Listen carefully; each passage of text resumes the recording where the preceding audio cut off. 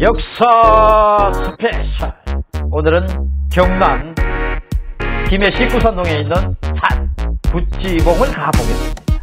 여기 수로왕의 왕비릉에서 조금만 올라가면 구지봉 정상이 나옵니다. 구지봉 정상을 가기 위해서는 이렇게 도로를 따라 산길을 쭉 계단을 따라 올라가면 정상까지 그렇게 많이 걸리지 않고 올라가실 수가 있습니다. 바로 여기 지금 구찌봉 정상에 올라왔습니다. 여기가 구찌봉 정상입니다. 그리고 바로 가락국 가야의 시족 김수로 수로왕의 탄생비화가 있는 곳입니다. 탄생비화는 바로 하늘에서 실이 내려와서 열흘째 되는 날 부쩍부쩍 커서 키가 아홉 키가 됐다. 뭐 이렇게 해서 어른이 됐다. 이런 이야기가 되어 있습니다. 어쨌거나 거기에 기록에 그렇게 나와 있습니다. 여기가 구찌봉입니다. 구찌봉의 가운데는 흙으로 되어 있고 옆에 원행으로 돌로 쭉 쌓아놨습니다. 그리고 여기에 성문이 비문이 두 개가 있습니다. 구찌봉이라고 되어 있고요. 그리고 여기 성문에 사람들이 기도와 영혼과 바람과 기원을 하고 있습니다. 그리고 옆에 보시는 것처럼 사람들이 이 원을 따라 쭉 돌면서 자신이 원하는 것을 마음속으로 되새기고 있습니다.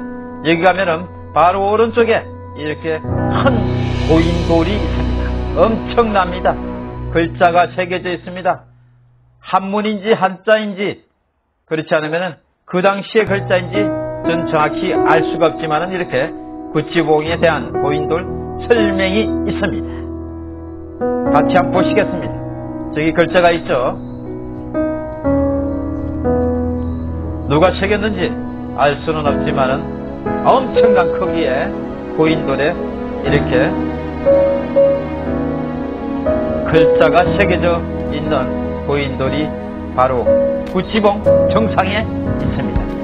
여기는 정상에는 소나무가 이렇게 많이 있습니다. 올라오는 길에도 많이 있고요. 그래서 어, 다시 구치봉을 다 보고 이제 사이 오른쪽 길로 살짝 빠져서 내려가 보도록 하겠습니다.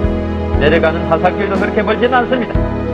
내려가는 길 이렇게 되어 있습니다. 내려가고 있습니다. 금방 내려가면 구치봉이라는 또 표식이 또 있습니다. 그것을 보시고 구치봉이라는 설명을 마무리를 하겠습니다.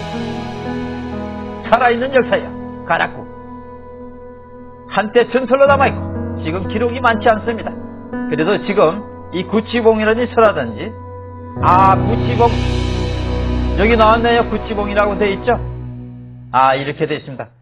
가락구 가야. 철의 문화. 이 경상 남도 쪽에서 육가야. 이 금강가야의 시죠. 바로 수로왕 등이 있는 곳입니다. 바로 구치봉은 수로왕이 탄생된 비화가 비화를 이보다는 저쪽에 보면 방금 전에 제가 말씀드린 거북의 목 지금 저 터널이 있는 곳입니다. 그래서 지금은 이어놨죠.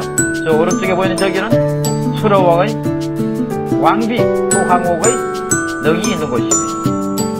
이렇게 오늘 저는 역사 스피셜 경남 김해시 구산동에 있는 산 구치봉을 함께 했습니다. 끝까지 시청해 주셔서 托马斯。